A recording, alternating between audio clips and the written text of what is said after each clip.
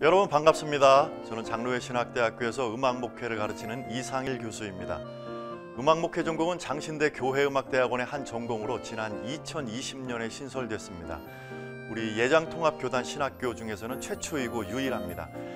저희 전공의 목표는 영성과 전문성을 갖추고 교회에서 음악과 관련된 모든 일을 책임지는 전문 음악 목회자를 양성하는 것입니다. 그래서 이론과 실기 교육 모두 강조하고 있습니다. 예배와 음악, 찬송가뿐만 아니라 음악 목회의 실제, 또 음악 목회 현장 탐방, 현장 실천, 교회 음악 교육, 예배 찬양 인도 실제, 음향 엔지니어링 등의 과목을 필수로 배우고 있습니다. 그리고 본인에게 필요한 분야의 전공 실기를 네 학기 배우고 부실기도 또 따로 네 학기 배웁니다. 실기 분야는 학기마다 다르게 선택할 수도 있기 때문에 네 학기 동안 성악, 지휘, 건반 등 다양한 분야의 실기 실력을 기를 수가 있습니다. 음악 목회 전공으로 장신대 교회음악대학원을 졸업했다고 본교단에서 음악 목사 자격증을 주지는 않지만 본교 신학대학원에 특별 전형으로 지원할 자격이 주어집니다. 그러나 음악 목사가 될 사람만 음악 목회 전공에 지원하는 것은 아닙니다. 현재 재학생들이 희망하는 진로도 다양합니다. 이제 재학생들의 이야기를 직접 들어보시겠습니다.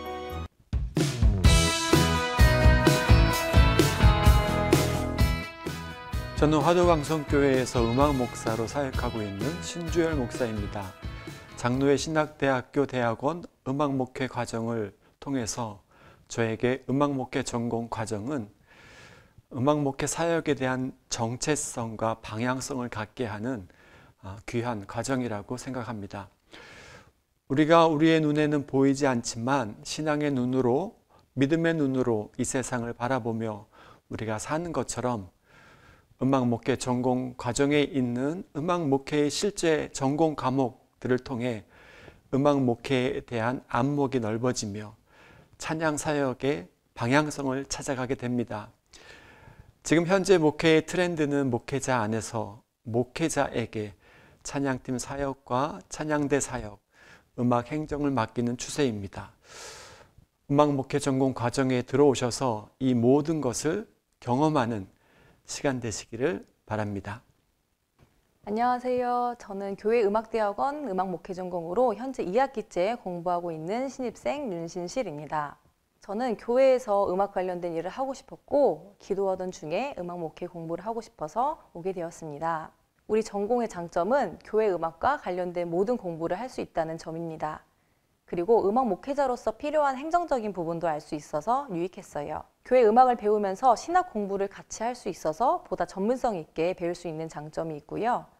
저는 특히 오르간을 배우고 싶었는데 학교에서 찬송가랑 바흐 이전 시대의 곡을 배우면서 오르간에 대해 깊이 배우는 시간들이 너무 좋아서 만족하고 있습니다. 특히 이 전공은 커리큘럼이 이론과 실기가 있어서 보다 재미있게 배울 수 있다는 점이 있습니다. 실기 수업은 지휘, 오르간을 배우고 있고요. 다음 학기는 싱어송라이터랑 재즈 피아노를 배워보려고 합니다. 저는 전공 수업 중에서 음악 목회 실제 수업이 가장 기억에 남았는데요. 이 수업은 음악 목회자가 알아야 할 내용들을 이해하면서 새로운 교회에 부임했을 때 잘 준비할 수 있도록 돕는 유익한 수업입니다.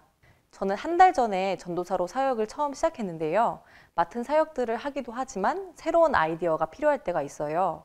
그럴 때 음악 목회 실제 수업에서 배웠던 내용들을 참고해서 내년부터 새롭게 시작하는 사역 프로그램도 있습니다. 지금도 이 영상을 보시면서 고민하고 있을 예비 신입생분들에게 말해드리고 싶어요. 사실 뭔가를 결정하려면 용기가 필요하잖아요. 너무 고민하지 마시고 용기를 한번 내보셨으면 좋겠습니다.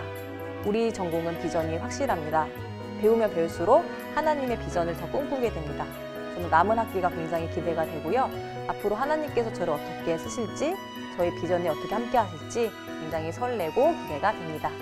음악 목회 전공 많이 지원해 주세요. 장로회 신학대학교 음악 목회 전공에 많이 지원해 주세요.